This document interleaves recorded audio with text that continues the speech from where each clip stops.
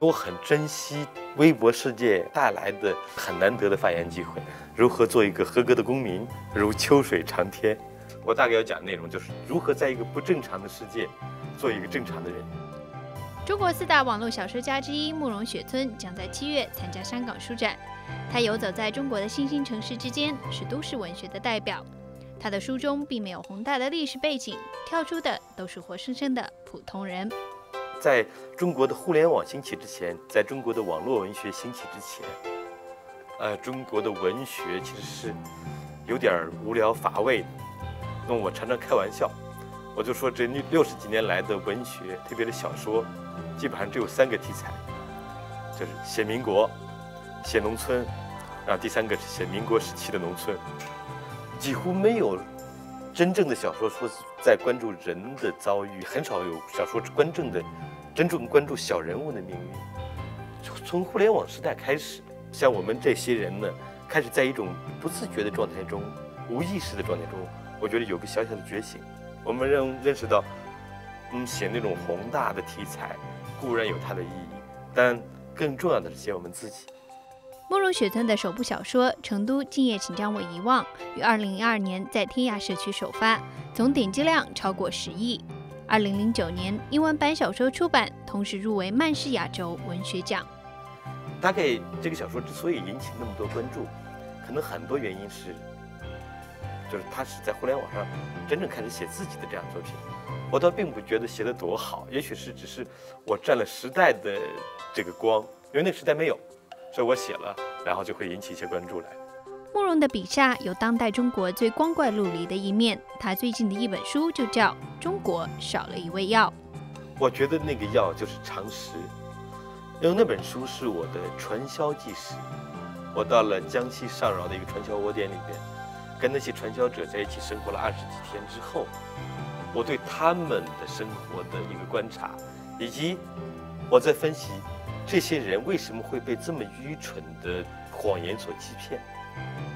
我发现就是常识在起作用，就是他们少了一个常识，他们会相信那些听起来特别拙劣而又十分愚蠢的谎言。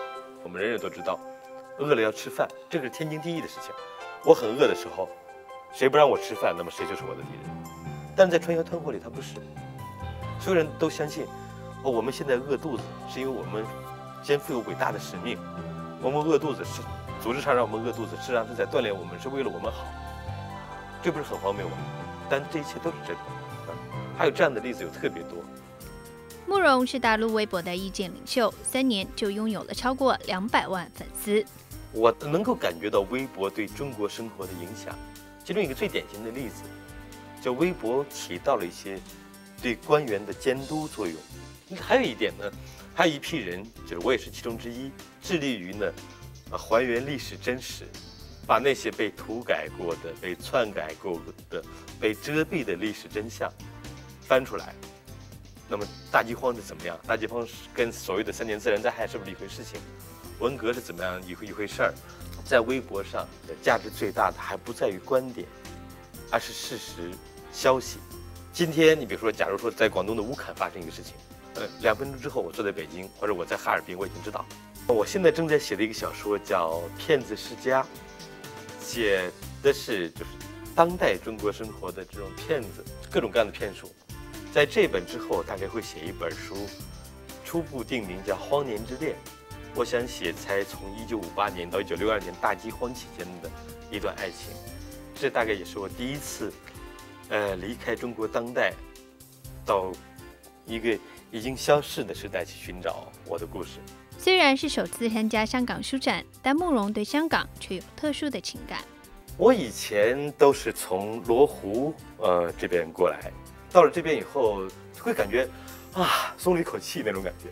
嗯，大概是从一个比较浮躁、比较紧张的世界到了这边，我会有每次都有这种感觉。呃，只要过了罗湖口岸，那么到这边以后。我就发现很多东西可以用了，Google 可以随便的用了，呃，我可以更新我很久没有更新过的 Facebook，可以上一下 Twitter。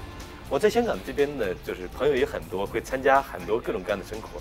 我有时候会去，呃，FCC CC 那边啊，去那边坐着跟朋友们聊聊天，在旁边有时候在那个易碎会可以看一些小的很小的演出，更多的是去旺角的书店，啊或者去湾仔这的书店去买各种各样的书。我以前大概每两个月左右会到香港来采购一批书，嗯，对于我来说，香港是我的一个很重要的精神资源的，就是支持的一个城市。